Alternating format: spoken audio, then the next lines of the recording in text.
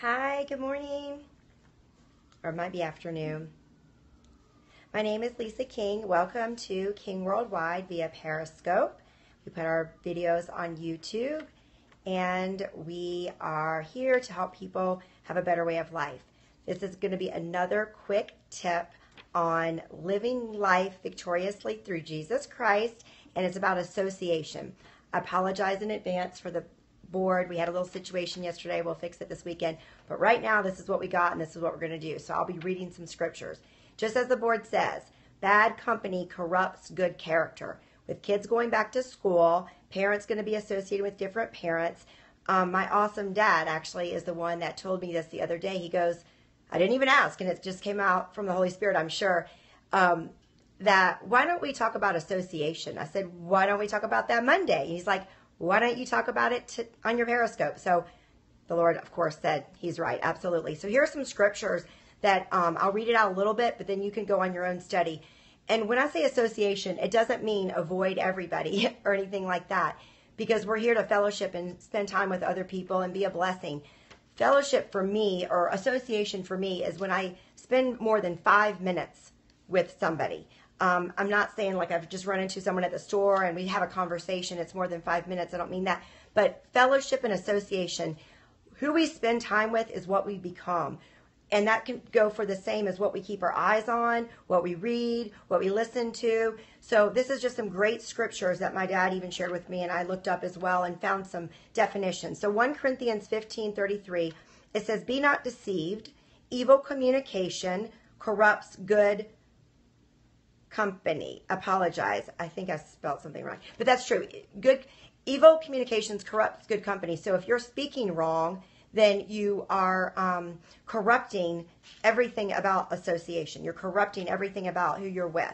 Another one, 1 Corinthians 5.11, it says, I'm going to make them really small, is not to keep company with fornicators, covetousness people, idolaters, people that get drunk, etc. And I'm not going to read this out loud as much because I want you to go to the scripture yourself and learn who the Lord says to keep company with and who not to keep company with. And again, that doesn't mean don't fellowship. I mean, that doesn't mean don't bless. That means you don't want to fellowship with and develop relationships with folks that have not learned how to live in God's operating system. Why? Because who we spend time with is it'll rub us rub off on us.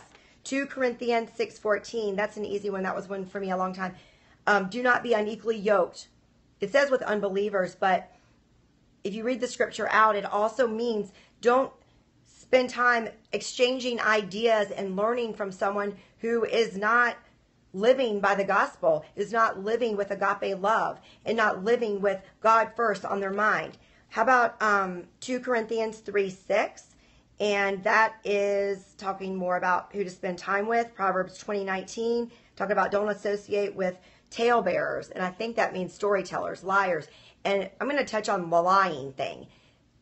If you say you're going to call someone and you don't text them or let them know that something came up and you don't call them, that is lying. You might say you're being too legalistic. Listen to a few more. If you say you're going to meet someone and you don't notify them that something came up and you can't meet them, that's like lying. So the world is very loose with their word today. You know, it was probably even 50 years ago, people made um, business deals with their word. What happened to that? Some people still do. I do. But the thing is, not everyone you want to trust because they can't even, they say they'll call you later. They don't. They don't even mean, they don't even know that they just lied. So let's all work on what we say is what we mean, or let's just be our, keep our mouth shut, just like my grandfather taught me. Can't say anything nice, just don't say anything at all. It's a great lesson. All right, a few more here. Um, talking about making friends in Proverbs 22, verses 24 and 25, and then Proverbs 17, 17.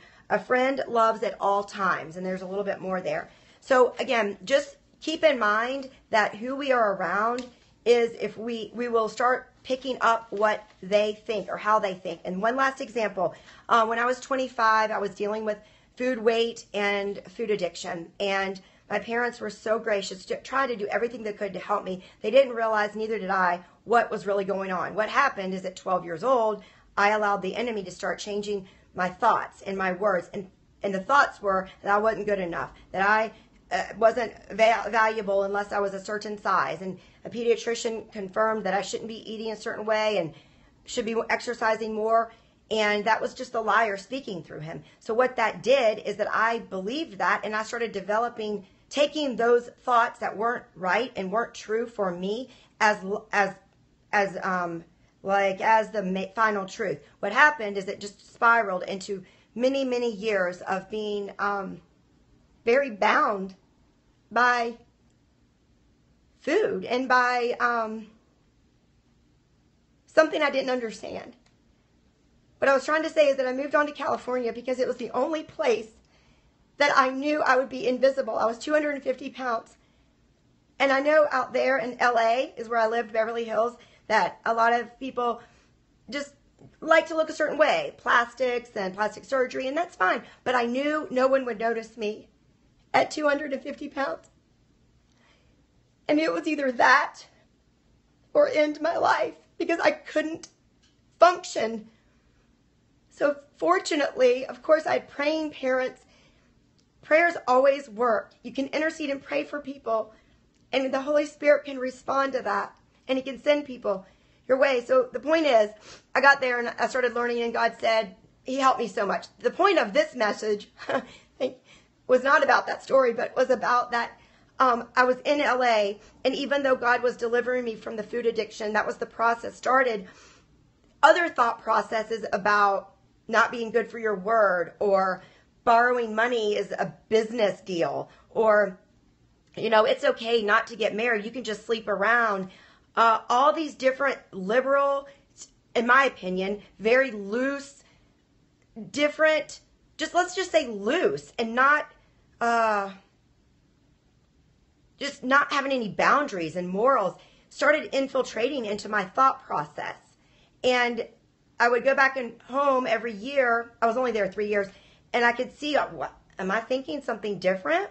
Yeah, I wanted to be free from a food addiction, but I didn't want everything else in my mind to go the other way when that got right. So the bottom line is I didn't even realize it. I was playing Christian CDs and tapes. I was listening to the word and thank God I did because I came back within two and a half years because of prayer of my parents. And then just the Lord delivered me. But the whole point of the mess story about California was that if you get around and you don't even notice and you're not paying attention to your association, it will seep in you because it's a curse of Satan.